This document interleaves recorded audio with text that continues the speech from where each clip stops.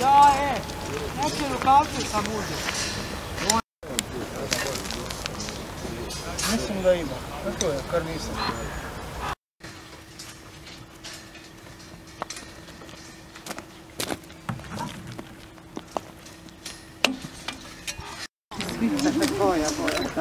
Osmijeh. Damir.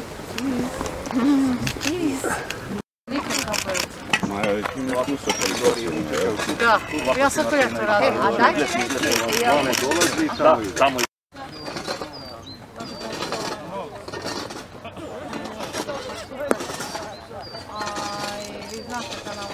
Ta donacija je teška 295 108 dolara i u cijelosti je financirana od strane e, američke, američkog veleposlanstva gdje Republika Hrvatska, odnosno e, plaća samo e, porez na dodanu vrijednost.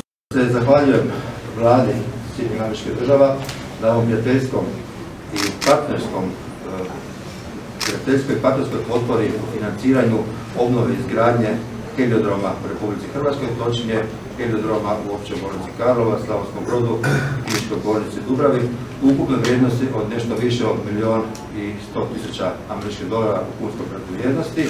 Why the United States is providing this assistance to Karlovac Hospital and the Croatian Ministry of Health to enable helicopter emergency capabilities that will reach, treat, and save the lives of patients within the golden hours.